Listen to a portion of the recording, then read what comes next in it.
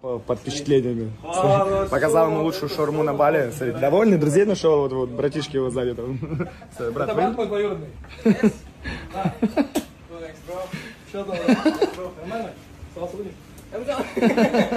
Такая мысль. Я не хочу думать за других. Я не хочу влазить в чужие мне ситуации.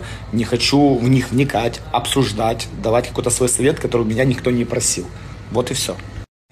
Ребят, прошло уже 8 месяцев с момента нашего расставания с Майей. По-прежнему очень много подобных вопросов. Вопросы о том, когда мы помиримся. Мы с ней не ругались. Я очень ее уважаю, считаю, что она действительно очень классный человек. Но так бывает. Это взаимоотношения двух людей, и люди часто расходятся по каким-то определенным обстоятельствам.